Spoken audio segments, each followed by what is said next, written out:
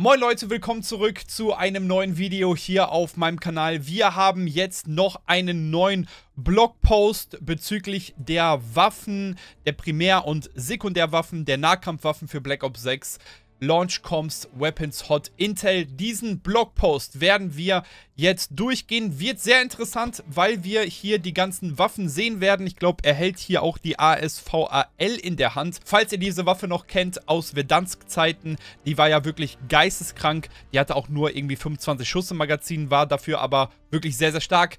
Wir gehen den Blogpost jetzt durch, deswegen würde ich sagen, lehnt euch zurück, genießt das Video, lasst am Ende gerne ein Like da, falls es euch gefallen hat und natürlich auch gerne ein Abo für mehr Call of Duty Videos von mir in der Zukunft. So, wir gehen rein. Wir werden hier insgesamt 25 Primärwaffen in Black Ops 6 bekommen. Ich mache das mal ein bisschen größer. Hier sehen wir die erste Waffe. Das ist die XM4, die wir auch schon in der Beta spielen konnten. Wir haben hier insgesamt sieben Sturmgewehre, sechs Maschinenpistolen, zwei Schrotflinten, drei LMGs, vier Scharfschützengewehre und nochmal drei Scharfschützengewehre. Also ich denke mal vier DMRs und drei Scharfschützengewehre oder sowas. Dann haben wir insgesamt sechs Secondary-Waffen. Hier sehen wir die 9mm PM-Pistole. Ich weiß nicht, ob wir die schon in der Beta spielen konnten. Kann aber durchaus möglich sein. Hier unten sehen wir, was die Secondary-Waffen sind. Wir haben hier insgesamt vier Pistolen und zwei Trägerraketen. Hier sehen wir dann noch die Nahkampfwaffen. Insgesamt wird es zwei Stück geben. Hier sehen wir das Multiplayer und Zombies. Hier einfach ganz normales Knife, also ganz normales Messer. Und dann wird es noch einen Baseballschläger geben, was auch wirklich übelst cool ist. Kommen wir weiter hier zu den Leveln, beziehungsweise was man hier alles freischalten kann. Wir sehen hier, er ist Level 54, Level 51, 52, 53, 54 und Level 55. Mit Level 51 schalten wir hier wunderbar Gobblegum frei und BO6 Multiplayer Sleeper Agent Field Upgrade. Mit Level 52 haben wir hier die GPMG7, das ist ein LMG und hier den Baseball. Dann haben wir mit Level 53 einmal die Combat X, also eine Axt, die wir dann werfen können, denke ich mal. Und wir haben hier das Bruiser Perk. Mit Level 54 haben wir hier Hidden Power Gobblegum und Dreadnought Score Streak. Und hier, wie ich eben gerade auch richtig gesagt habe, die ASVRL, das Sturmgewehr, bekommen wir mit Level 55. Okay, und dann sind wir halt schon quasi fertig mit dem Leveln und dann können wir Prestige drücken. Wir haben ja das klassische Prestige-System wieder am Start und dann werden wir Prestige 1 sein. Alter, also ich freue mich wirklich extrem. Hier sehen wir, wann wir was freischalten. XM4 wird sofort freigeschaltet sein was sehr nice ist. Mit Level 4 können wir ja dann unsere eigenen Klassen machen. Dann können wir direkt die XM4 reinpacken.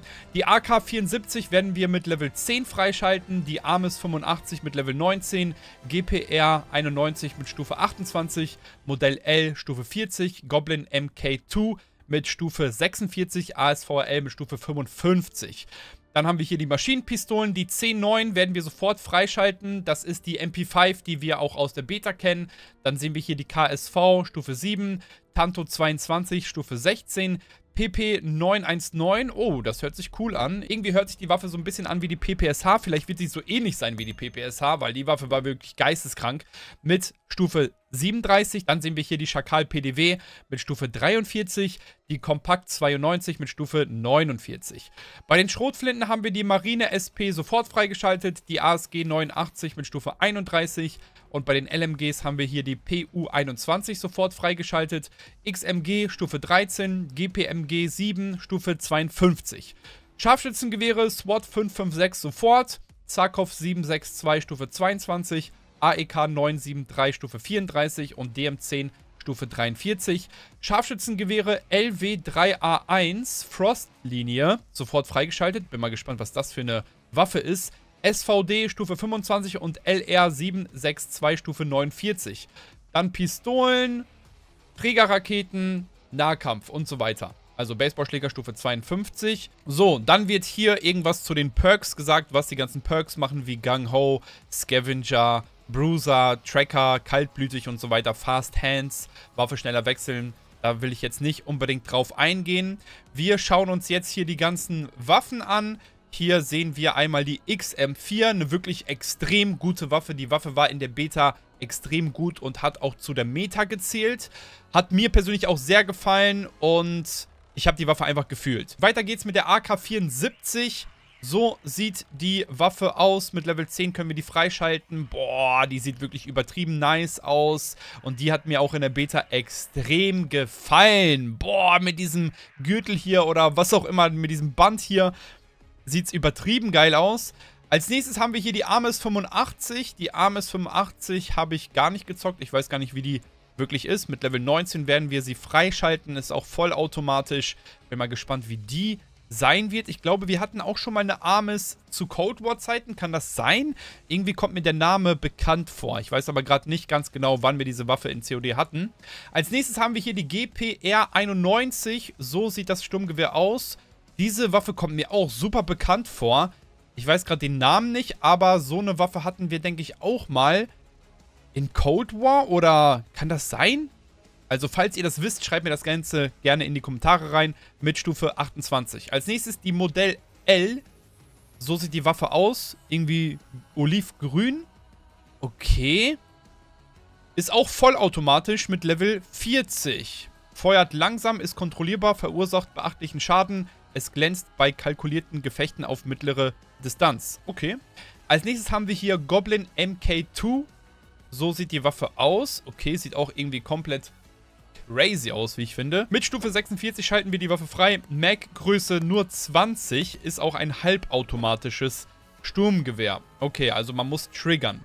Als nächstes haben wir hier die ASVAL. Das ist tatsächlich auch ein Sturmgewehr. Oh, Leute, diese Waffe war so krass damals. Ja, Mac-Größe 20, wie ich auch schon vorhin gesagt habe. Vollautomatisches Sturmgewehr mit Level 55. Ich denke mal, diese Waffe wird komplett overpowered sein. Also es lohnt sich, so schnell wie möglich Level 55 zu werden. Deswegen geht auf jeden Fall in die Läden bei euch rein und guckt nach Monster Energy Dosen, weil dadurch könnt ihr Doppel-EP bekommen. Durch die Codes auf den Dosen. So, kommen wir jetzt zu den SMGs. Es gibt sechs SMGs. Wir haben hier einmal die C9, kennen wir ja auch schon aus der Beta. Extrem starke Waffe, hat übel Bock gemacht, habe ich mega gefühlt. Richtig, richtig nice. Als nächstes haben wir hier die KSV. Sieht irgendwie so ähnlich aus wie die AK-74U, ne? Ja, Mac-Größe 30, vollautomatische Maschinenpistole mit Stufe 7 freigeschaltet. Als nächstes haben wir hier die Tanto 22, die auch sehr gut in Warzone war beziehungsweise so sah es zumindest auf dem COD Next Event aus. Mac Größe 30, ab Stufe 16 freigeschaltet. Dann haben wir hier die PP919, das ist tatsächlich die PPSH. Das ist tatsächlich die PPSH, Leute. So sieht die aus. Oder nee, die Bison, oder? Eins von beiden auf jeden Fall. Vollautomatische Maschinenpistole mit Stufe 37 freigeschaltet. Okay, sehr nice. Als nächstes haben wir hier die Jackal PDV. So sieht die aus.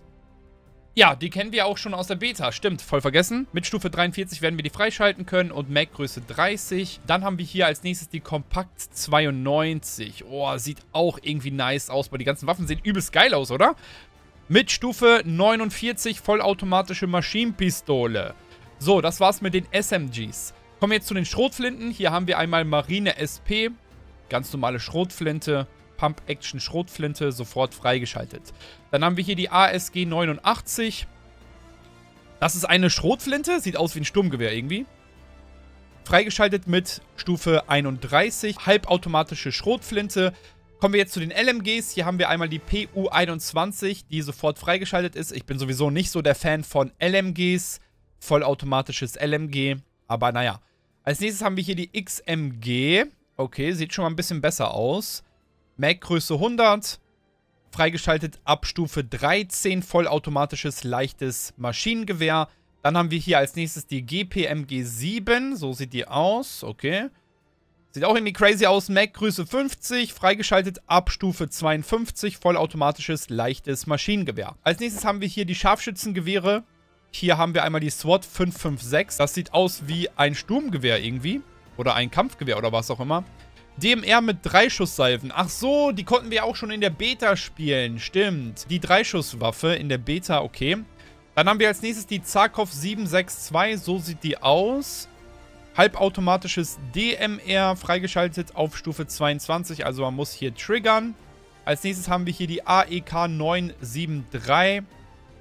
Boah, die sieht cool aus. Irgendwie so wie eine moderne AK-47. Mac-Größe 30, freigeschaltet auf Spielerlevel 34, DMR mit 3 Schusssalven. Also eine AK mit 3 Schusssalven anscheinend. Okay, dann haben wir als nächstes hier die DM10. So sieht die aus, also die sieht eher schon wie so eine Sniper aus. Halbautomatisches DMR, freigeschaltet auf Stufe 43. So, kommen wir jetzt zu den Snipern, zu den richtigen Snipern. Da bin ich jetzt gespannt. Oh, die LW3A1 Frostlinie, beziehungsweise Frostline. Das ist die L96A1 aus BO1 oder nicht? Ach du heilige Makrele. Okay, das ist krass. Das ist wirklich sehr, sehr krass. Oh mein Gott, also diese Sniper wird, glaube ich, übertrieben krass sein. Oh, da freue ich mich auch schon drauf. Mit Sofort freigeschaltet, sofort freigeschaltet, sofort freigeschaltet. Okay, das ist wirklich super, super nice. Als nächstes haben wir hier die SVD. Sieht aus wie die Dragunov irgendwie. Mac-Größe 10, halbautomatische Sniper. Okay. Als nächstes haben wir hier die LR762. Sieht auch aus wie eine stabile Sniper. Scharfschützengewehr mit Repetiermechanismus. Freigeschaltet auf Level 49. Okay, also für mich ist das hier die beste Sniper, weil das ist auch eine Bolt-Action-Sniper, genauso wie die Sniper hier unten. Ich denke mal, diese beiden Sniper werden übertrieben krass sein. Die hier und diese Sniper hier. Da bin ich wirklich sehr gespannt drauf. Jetzt haben wir hier die Pistolen, 9mm PM, so sieht die aus. Dann haben wir hier die Grechova, oder wie auch immer man die ausspricht. Sieht auch sehr clean aus. Dann haben wir hier die GS45, so sieht die aus. Stufe 28. Dann haben wir hier die Strider 22. Sieht aus wie eine vollautomatische Pistole. Ne, ist halbautomatisch. Stufe 40. Dann haben wir hier die Triggerraketen. Einmal Sigma 2B. So sieht die aus. Sofort freigeschaltet. Und dann haben wir hier die HE1. Die Bazooka. Freigeschaltet auf Stufe 19. Dann haben wir hier einmal das Messer, das auch direkt freigeschaltet ist und den Baseballschläger mit Stufe 52. Okay, dann kommen wir jetzt hier zu den Ausrüstungen, zum Waffenschmied und zu den Aufsätzen im Multiplayer und im Zombie-Modus. So sieht das Ganze aus. So sieht unser Loadout aus. Primärwaffe, Sekundärwaffe und Messer haben wir immer dabei. Dann haben wir hier taktische Ausrüstung Stim, Lethal-Ausrüstung, also unsere ganz normale Ausrüstung wie Semtex und so weiter. Hier haben wir Combat Axe drin. Dann haben wir hier das Field Upgrade, Trophy System. Hier die ganzen Perks, drei Perks. Und wenn wir die ganzen Perks in derselben Farbe haben, bekommen wir noch ein Specialist Perk sozusagen, derselben Farbe. Und hier unten zu guter Letzt dann noch die Wildcard. Und hier auf der rechten Seite sehen wir den Zombie-Modus, Primärwaffe, unsere Nahkampfwaffe, Field Upgrade, Tactical Ausrüstung, Lethal Ausrüstung und die Gobblegum Packs, die wir haben. Okay. Gut. Hier sehen wir nochmal ein Bild. Klaus mit der Bazooka hier in der Hand. Hier sehen wir nochmal den Skistand, den ich euch aber auch schon gezeigt habe. Ne? Hier fliegen die ganzen Dummies rum. Hier können wir auch so eine Platte runterkommen lassen, um den Rückstoß nachvollziehen zu können und so weiter. Wird wirklich cool sein, denke ich mal. Also ich freue mich auf den Skistand. Dann haben wir hier Global Weapon Build.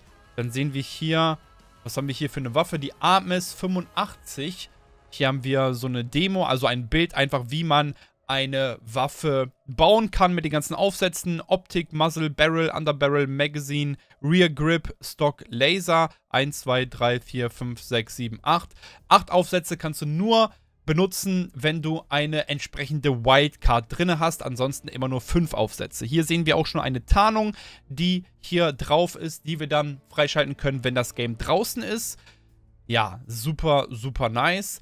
Dann sehen wir hier Büchsenmacher, also Waffenschmied. Hier ein Bild von einem Operator. Das Bild haben wir auch so noch nicht gesehen. Weiter geht's, weiter geht's, weiter geht's. Aufsatztypen sehen wir dann hier. Die Armes 85 ohne Aufsätze. Hier können wir einfach sehr intuitiv die ganzen Aufsätze auswählen. Und hier sehen wir, was gibt es für Aufsätze bla bla bla bla bla. Also hier wird sehr viel erklärt. Das muss jetzt hier nicht durchgehen, denke ich mal. Fünf Aufsätze pro Waffe, acht, wenn sie ein Revolverheld sind. Also mit Wildcard, habe ich ja eben gerade auch schon gesagt. Hier sehen wir acht Aufsätze auf der Armes. Hier sehen wir die verschiedenen Aufsätze. Aber ich werde sowieso auch Videos machen, Leute, was die besten Aufsätze für welche Waffen sind. Da könnt ihr auch auf jeden Fall schon mal abonnieren, Glocke aktivieren, damit ihr direkt benachrichtigt werdet, wenn Black Ops 6 rauskommt. Ich werde versuchen, so schnell wie möglich ein Video zu machen zu der Meta und zu den besten Aufsätzen, die man benutzen kann, damit ihr direkt eine geile Waffe oder viele geile Waffen habt, die ihr so einfach nachbauen könnt von mir. Und hier sehen wir auch das Damage Profile. Also wir sehen jetzt zum Beispiel hier die XM4, wie wir sie gebaut haben. Und dann können wir uns hier verschiedene Sachen anzeigen lassen. Die Damage Distribution, das heißt, wie viel Prozent an Schaden machen wir Damage at Effective Range 7 Meter. Ich muss einmal ganz kurz hier größer machen. Hier sehen wir das Ganze. Wie viel Schaden auf den Kopf, auf den Nacken, auf die obere Brust, auf Hände, auf Bauch, auf Oberschenkel und auf Unterschenkel und so weiter und so fort. Hier sehen wir alles mögliche. Feuerrate, wir sehen hier die Genauigkeit, die Mobility, das Handling und wie und in welcher Weise das hier sich unterscheidet zwischen verschiedenen Builds mit verschiedenen Aufsätzen und so weiter und so fort. Also das sieht wirklich super nice aus. Wir sehen hier die XM4, wurde hier verglichen mit der C9. Damage at Effective Range, also Damage bis 7 Meter, ist natürlich die XM4 um 24% schlechter als die C9, weil die C9 ist eine Maschinenpistole und damit machst du natürlich bis 7 Meter deutlich mehr Schaden als die XM4, weil die XM4 ist eher für eine größere Range gedacht. Hier sehen wir das Ganze, Damage Beyond Range, also größer als 25,7 Meter. Hier ist die XM4 natürlich um 6% besser als die C9 und dann kommt natürlich auch der Rückstoß hier dazu, den wir hier sehen und so weiter und so fort. Also sehr, sehr interessant. Da kann man sehr coole Videos machen damit ich euch das alles zeigen kann, was die besten Aufsätze sind. Hier sehen wir die verschiedenen Optics. So, so, so, so, so. Zack, zack, zack, zack. So, dann geht's weiter. Hier sehen wir die Maulkörbe steht hier. Also das sind einfach Schalldämpfer. Die verschiedenen Schalldämpfer, die man, oder Mündungen, die man draufpacken kann. Dann sehen wir hier die verschiedenen Läufe, die man draufpacken kann. Dann sehen wir hier die verschiedenen Unterläufe, die man draufpacken kann. Dann sehen wir hier die verschiedenen Zeitschriften, die man draufpacken kann. Zeitschriften, Magazine, sollte das heißen, die man draufpacken kann hier auf der Armes. Dann sehen wir hier die Schäfte oder Schäfte ist, glaube ich, Plural von Schaft, oder? Hier L96, bla bla bla. Ja, dann sehen wir hier die Griffe. Dann sehen wir hier die hier steht einfach Aktien, aber das sind wieder Schäfte oder Schafts oder wie auch immer. Laser. Dann sehen wir hier verschiedene Feuermodi haben wir ja. Rapid Fire, NATO Overpressure, Recoil Springs, NATO FMJ, WMR FMJ, Rapid Fire, Rapid Fire, Rapid Fire, die verschiedenen Fire-Mods für die verschiedenen Waffen hier.